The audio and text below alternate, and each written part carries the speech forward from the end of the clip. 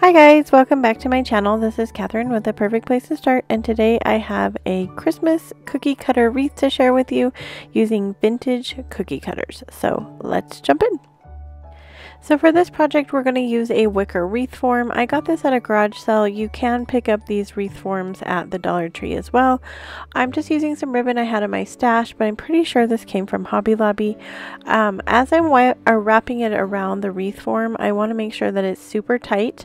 And then every like third wrap around, I just put a little bit of hot glue on the wicker part, and then I just keep wrapping. And I'm going to do that for this entire wreath. I believe it takes about one spool of ribbon to cover this whole um, wreath. It, it, might be a little bit less. Like I said, this was in my stash, but I did pick this up in the Christmas section at Hobby Lobby.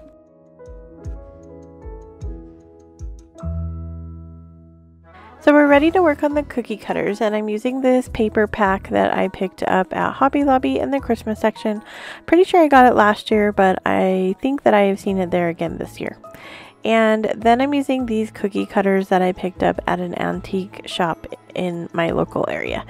These um, cookie cutters are almost all vintage cookie cutters except for maybe three. I was looking for Christmas cookie cutters, but I did pick up all the ones that I could find that were this vintage design. So all I'm going to do is trace around my cookie cutter. I did pick out a different piece of paper from the paper pack for each one of my cookie cutters.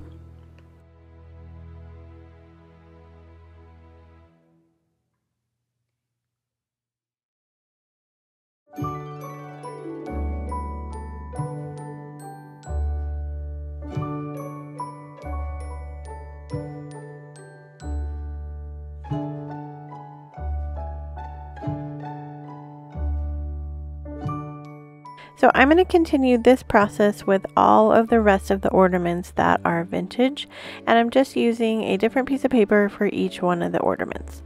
So now that I have them all cut out, I'm ready to assemble them. Um, these are really awesome because you're just going to press the paper into the cookie cutter.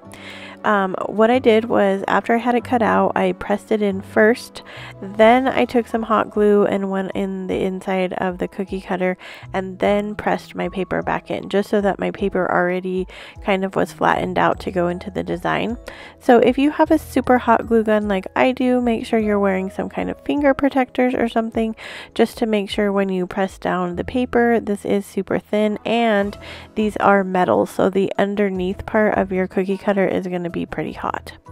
So after I have that done, then I'm going to do that same process for all of these vintage ornaments. Um, I'm not going to make you watch me do that, but just know that I'm using that same process to do all of these ones. So I do have three um, three cookie cutters that are not necessarily vintage. So if you can't find the ones with the backing, you could still make the same project using just Christmas cookie cutters. And I wanted to show you the process. So this one was a little bit more tricky. This particular cookie cutter with the rubber um, part on the back of it actually worked better than the other two but you're just going to trace around just like we did the other cookie cutter. But this time I'm using some cardstock and I'm going to cut around to make it just slightly bigger than the cookie cutter so that I can glue the cookie cutter onto the cardstock. That gives me the back that this cookie cutter is missing. And then I can take my paper and either push it down into the cookie cutter. I did try to do that, but it didn't quite work as good as it did with the vintage ones. Or you could take just a regular glue stick, glue the patterned paper cut out onto the cardstock paper, and then glue the cookie cutter on top of that. I did do that towards the end, and that did seem to work a little bit better. But it's basically the same process. You're going to give it back to your cookie cutter, and then you're going to glue in your patterned paper.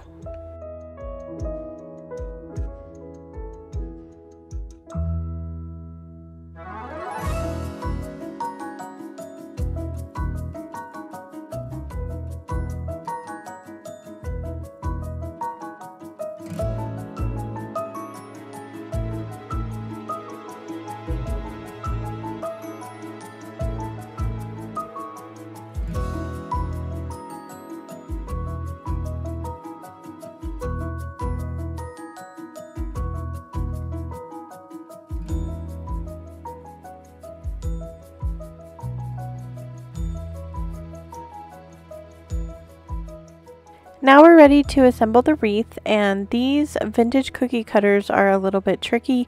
They have like a section in the back that sticks up that you could hold on to if you were going to cut out actual cookies and so it was a little tricky to glue that onto wicker but um, you just kind of have to keep holding it in place and um, stabilizing it while the hot glue dries. So I did lay out the cookie cutters prior to gluing them onto the wreath just so I had an idea of how I wanted them to be laid out. I was slightly disappointed because I felt like I didn't have quite enough cookie cutters. I had 11 cookie cutters in total um, and it wasn't quite enough to like overlap them um, once I had them all over. I think I only had two that were able to overlap on it.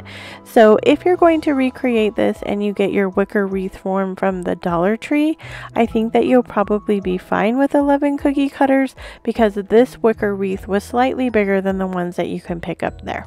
If you're going to have a bigger wicker wreath, then I suggest maybe about 15 cookie cutters because that way you'll have some that you can lay on top of each other. So all I'm going to do here is just complete gluing on the cookie cutters onto the wreath form. And then we're ready to kind of add the bow and a few embellishments.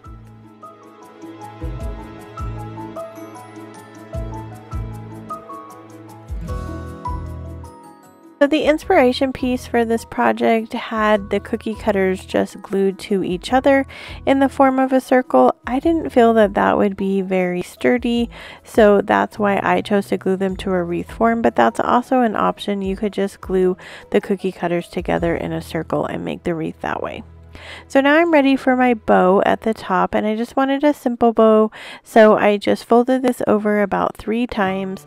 You'll can you'll see I made kind of a boo-boo here. I have like a section of the bow that's just sort of sticking out and I guess I wasn't paying attention when I folded over the ribbon so I just glue that down with some hot glue and you'll never know once we make the wreath. Um, or once we add the bow to the wreath. So I'm just going to um, fluff it out and then I go ahead and make some tails for this. I glue this bow on to the tails and then I'm going to glue it onto the middle of the wreath. So to give this middle part a little bit more dimension, I'm just going to take some twine, wrap it around a few times. I think it ends up being maybe about 15 times that I go around this. Um, but I give it a good um, hefty dose of twine here in the middle to give it just um, more character, I guess. But then I'm going to go ahead, glue it to the tails, and then I dovetail the ends of my tails and glue it to the wreath.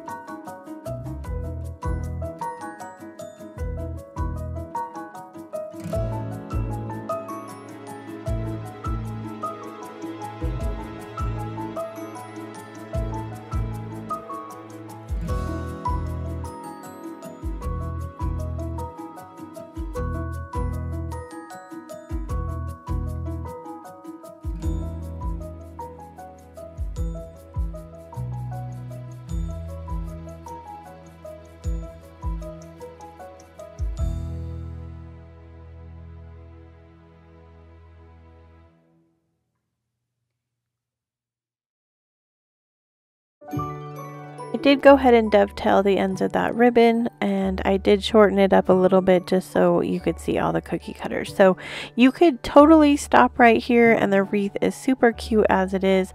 I just felt like there was some pieces that were um, pretty bare on my wreath. So I decided to take this buffalo check uh, ribbon. I just made little basic shoelace bows with it and dovetailed the ends and then I'm gluing those into some of the bare spots on the wreath and I do about five of these ribbons all around and I like to have odd numbers because I think um, that it draws your eye more but it's totally up to you if you even wanted to do this step or how many bows you wanted to put on there. So after I get these bows glued on then this project is complete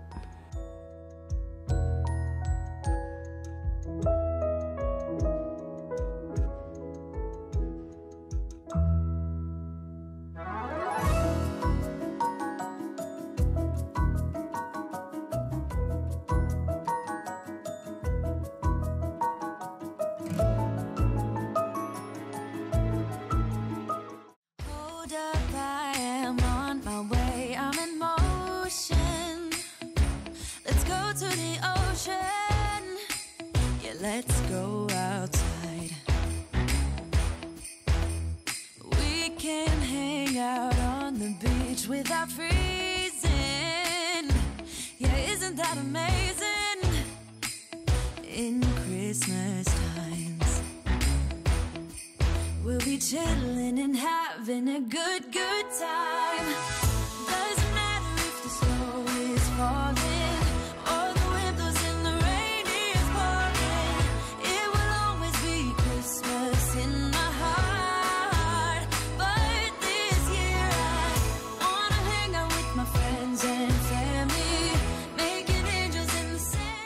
I hope you guys enjoyed today's project. I had a lot of fun making this and I'd been wanting to make one for a long time and I just kind of happened to fall upon those vintage cookie cutters and so it was just meant to be. Let me know if you're going to recreate it um, or if this is even something you would like to have in your home. I think that adding recipes to this might be super cute. Maybe my next wreath will be a recipe wreath. As always, wherever you are in your journey is a perfect place to start, and I will see you guys in the next video.